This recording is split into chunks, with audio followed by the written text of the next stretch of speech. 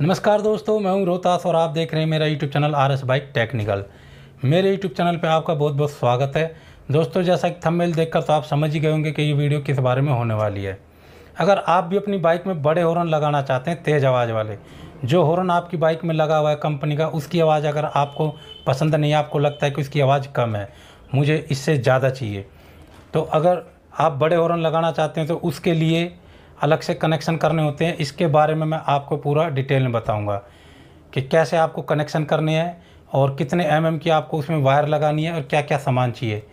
क्योंकि दोस्तों, जो वायर हॉर्नों के साथ आती है, वो बहुत हल्की होती है और कुछ ही दिन बाद उस वायर में दिक्कत आने लग जाती है। उसके जो क्लैंप होते हैं, वो ख़राब होने लग जाते हैं और हॉर्नों की आवाज़ बिगड़ जाती है। अगर आप उन हॉर्नों के लिए अलग से वायर बनाओगे तो ज़्यादा अच्छा रहेगा। उसमें कितने एम की वायर लगेगी, कितने क्लैंप लगेंगे क्या क्या लगेगा, इसके बारे में मैं आपको पूरा डिटेल में बताऊँगा।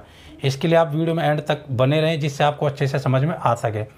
दोस्तों, ये मेरा दावा है कि ये वीडियो देखने के बाद आपको अच्छे से समझ में आ जाएगा और कोई वीडियो देखने की आपको ज़रूरत नहीं पड़ेगी। इससे आपको अच्छे से समझ में आ जाएगा कि आपको कैसे वायर बनानी, कैसे कनेक्शन करने हैं।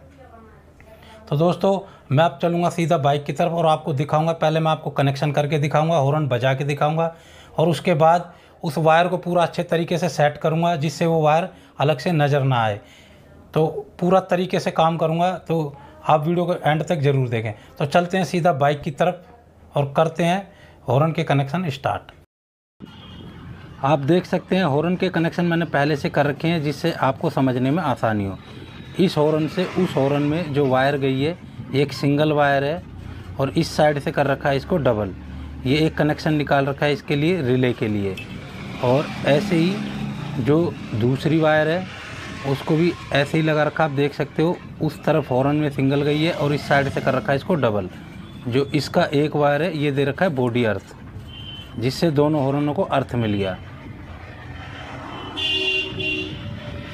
और जो ये आप पहली वायर देख रहे हो, इससे रिले में कनेक्शन हो जाएगा। और जो आप ये वाली वायर देख रहे हो, ये हॉर्न की वायर है, जिसमें हॉर्न पहले से लगा हुआ था। तो एक कनेक्शन आप ये देख सकते हो, ये निकाला अलग से। इस, ये कनेक्शन डायरेक्ट बैटरी से आया हुआ है। ये आप देख सकते हो, इसमें बीच में कोई स्विच नहीं है, डायरेक्ट बैटरी से आया हुआ है और इसमें पूरा करंट है। इस वायर को कितने एम का लगाना है, इसके बारे में भी मैं आपको वीडियो के एंड में बताऊँगा। पहले मैं भी आपको दिखा देता हूँ रिले के कनेक्शन कैसे करने हैं। तो मैं भी आपको दिखाता हूँ रिले के कनेक्शन ये आप देख सकते हो, ये रिले है और इसमें चार पॉइंट बने हुए हैं। जो इसमें, ये आमने सामने के जो दो पॉइंट हैं, पहले इनमें आपको हॉर्न की वायर लगानी है। जो आप देख सकते हो आमने सामने के दोनों पॉइंटों में हॉर्न की वायर लगा देनी है। उसके बाद जो तीसरा पॉइंट बचा है, उसमें आपको लगा देना है, जो बैटरी से डायरेक्ट वायर आया हुआ है वो इसमें लगाना है। ये लग चुका है। और अब इसके बाद जो चौथा पॉइंट है, उसमें जो हमने हॉर्न में से वायर निकाली है डबल करके, वो इसमें लगा देनी है। दोनों हॉर्नों को करंट यहीं से चला जाएगा। तो ये हॉर्न हॉर्न का कनेक्शन कंप्लीट हो चुका है रिले में। अब मैं आपको दिखा देता हूँ, एक बार हॉर्न बजा के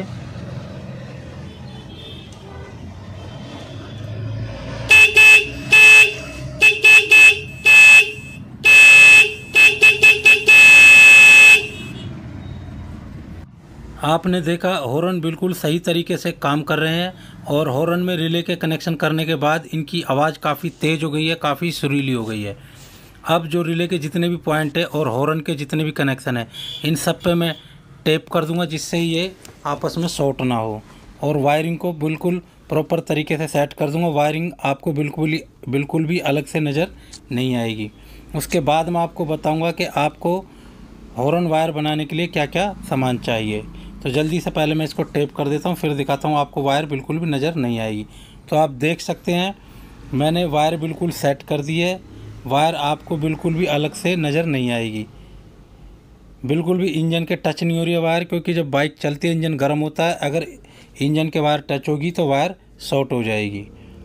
तो इस इंजन के यहाँ से बिल्कुल मैंने वायर को कवर कर दिया है और आप ये देख सकते हो हॉर्न रिले है जो ये पेट्रोल टंकी के नीचे मैंने अच्छे से टेपिंग करके यहाँ पे सेट कर दिया है। अब कोई भी वायर इसकी अलग से नज़र नहीं आ रही है। अब एक बार हॉर्न और चेक कर लेते हैं। तो आपने देखा हॉर्न बिल्कुल सही तरीके से काम कर रहे हैं। अब मैं आपको बताता हूँ आपको हॉर्न वायर बनाने के लिए क्या क्या सामान चाहिए। सबसे पहले आपको दो मीटर वायर चाहिए डेढ़ एम mm, और उसके बाद आपको चाहिए छः क्लैंप जो चार हॉर्न में लगेंगे और एक हॉर्न से एक्स्ट्रा कनेक्शन निकलेगा, उसमें लगेगा और एक लगेगा, जो बैटरी से कनेक्शन आएगा, उसमें। और एक आपको चाहिए बैटरी क्लैंप और किस तरीके से वायर बनाने आप ये साइड में वायर देख सकते हो, इस तरीके से आपको वायर के कनेक्शन करने हैं। तो दोस्तों, मैं उम्मीद करता हूँ ये जानकारी आपको अच्छी लगी होगी।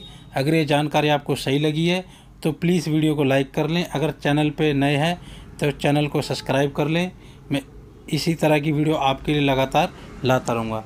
तो दोस्तों वीडियो को करते हैं यहीं पे एंड मिलेंगे आपसे अगली वीडियो में। तब तक के लिए जय हिंद, वंदे मातरम।